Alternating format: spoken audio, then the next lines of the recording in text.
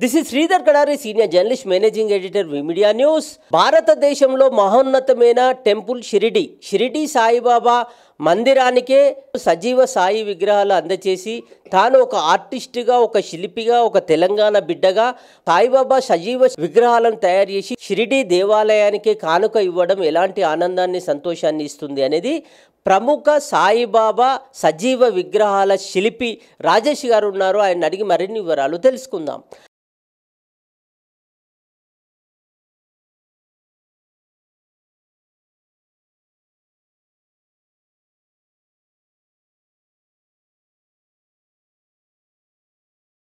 షిరిడి సాయిబాబా కోసం ప్రత్యేకించి చెప్పాల్సిన అవసరం లేదండి. ఆయన చేసిన గొప్ప మహత్ కార్యాలు అద్భుత కార్యాలు ఆయనని ఒక మనిషి రూపంలో వచ్చి ఒక దేవుడుగా దేవుడే కాకుండా ఆయన భక్తుల్ని ఎవరిని చేసుకోవాలి ఎప్పుడు చేసుకోవాలి అనే ఇది కూడా గొప్ప విషయం అండి. అలాంటి వార్లలో నేను కూడా ఒకటి. నేను మొదటి నుంచి సాయిబాబా భక్తుని కాను. ఎప్పుడైతే నేను సాయిబాబా విగ్రహం చేశానో ఆటోమేటిక్గా ఎన్నో నా జీవితంలో అద్భుతాలు చేసి బాబాగారు తన భక్తునిగా నన్ను మలుచుకున్నారు.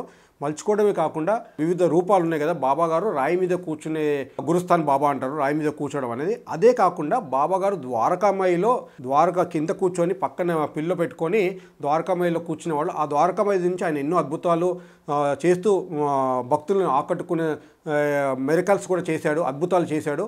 అలాంటి భంగిమ మన ద్వారకామాయి గారు బాబా అంటారు. అది విగ్రహం చేయడం కూడా జరిగింది. మొట్టమొదటి విగ్రహం నేను రాయి మీద కూర్చున్న బాబా విగ్రహం చేయడం జరిగింది. అది సజీవ విగ్రహం. దాని తర్వాత ద్వారకామయ్య సజీవ విగ్రహం చేయడం జరిగింది. అది ఈ రెండు కాకుండా కొత్తదనం ఉండాలి బాబాది ఏంటంటే అది ఒక అద్భుతం ఏంటంటే బాబా గారు ఉయ్యాల్లో ఒక దారం పోగు మీద ఉయ్యాల్లో పడుకుంటే ఒక దారం పోగే ఆయన ఆ ఉయ్యాలకు బరువు ఆయనకు బరువు. అది ఒక అద్భుతంగా భక్తులకు తెలియజేస్తూ అలా పడుకోవడం జరిగితే అలాంటి పడుకున్న సాయిబాబా ఉయ్యాలు పడుకున్న సాయిబాబా సజీవ విగ్రహం కూడా చేయడం జరిగింది. అది కాకుండా బాబా ధ్యానం చేస్తున్న ముద్రలో బాబా ధ్యానం సాయిబాబా చేయడం జరిగింది. బాబా ఇక్కడ ఇట్లా కూర్చొని చెంప దగ్గర పెట్టుకొని కూర్చున్న పాత ఫోటో ఆ రోజుల్లో ఉన్న ఫోటోను కూడా తీసుకొని ఆ భంగిమ కూడా చేయడం జరిగింది. అలా బాబా వంట చేస్తున్న బాబా అసలు అద్భుతం ఏంటంటే ఆయన పెద్ద పాత్రలో భక్తులకి బాగా వేడిగా ఉన్న పాత్రలో ఆయన వంట చేస్తూ ఉంటే గరిట లేకుండా చేతితో కలపడం చేస్తున్నది నిజంగా నేను ఇన్స్పైర్ అయ్యి అలాంటి విగ్రహం కూడా బాబా గుడి వాళ్ళు ఆర్డర్ ఇస్తే చేసి ఇవ్వడం జరిగింది. అలా ఎన్నో గుళ్ళల్లో పెట్టడమే కాకుండా భక్తులలో పెట్టడమే కాకుండా షిరిడీలో ఇంకా కొన్ని విగ్రహాలు వాళ్ళే స్వయంగా అడిగారు. మీరు మిగతా భంగిమలు చేశారు కదా అవి కూడా డొనేట్ చేయగలరా అని. నేను ఉండడానికైనా నాకు ఇల్లు లేకున్నా ఆ స్తోమత నాకు లేకున్నా బాబా మీద భారం వేసి తప్పకుండా నేను రెండు ఇంకా రెండు విగ్రహాలు మీరు అడిగినట్టుగానే ఇస్తానండి అని ఒప్పుకున్నాను. కానీ బాబానే ఆ ఒక అద్భుతం చేశారు. నా ఆర్థిక పరిస్థితి అని తెలుసుకొని ఆ రెండు ద్వారకమై బాబా ఉయ్యాలు పడుకున్న బాబా నేనే ఇద్దామనుకున్నా కానీ భక్ అద్భుతం చేసి ఆ భక్తుల్ని ఆ డోనర్స్ని ఆ దాతల్ని ఆయన్నే చూసుకొని ఇప్పుడు ఆ రెండు విగ్రహాలు కూడా ఆ, లో ఒక కొత్త క్యూ కాంప్లెక్స్ కట్టారు తిరుపతిలాగా. ఆ క్యూ కాంప్లెక్స్లో గొప్ప అవకాశం వచ్చింది. ఆ రెండు విగ్రహాలే కాకుండా ఇంకా ప్రసాదాలయం అని ఒకటి ఉంది. అక్కడ రెసిడెన్షియల్ భక్తులకు వస్తే ఆ నివాసం సంస్థ నుంచి కల్పిస్తారు. అక్కడ పెట్టుకునే అవకాశం ఉంది.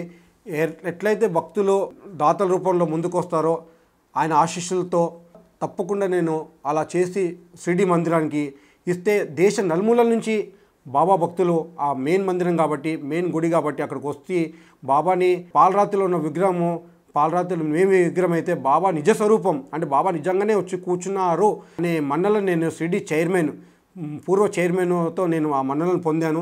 బాబా నిజంగా వచ్చి కూర్చున్నట్టున్నదయ్యా అని అన్ని ఆయన విగ్రహం కోసం కాంప్లిమెంట్ ఇవ్వడమే కాకుండా ఆయన విగ్రహం ధ్యానమందిలో పెట్టడం అనేది చాలా గొప్ప అవకాశంగా నా జీవితంలో బాగా సంతృప్తినిచ్చిన పెద్ద అచీవ్మెంట్గా గొప్ప విజయంగా బాబాగారు ఆశీస్సులతో సాధించగలిగాను.